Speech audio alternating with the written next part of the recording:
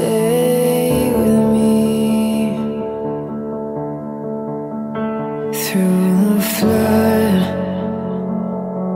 and through the fear.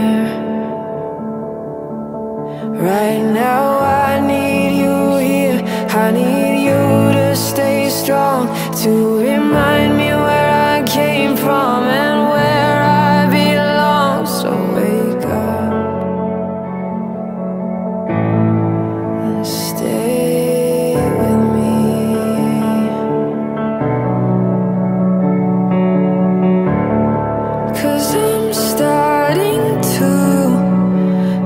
that I never actually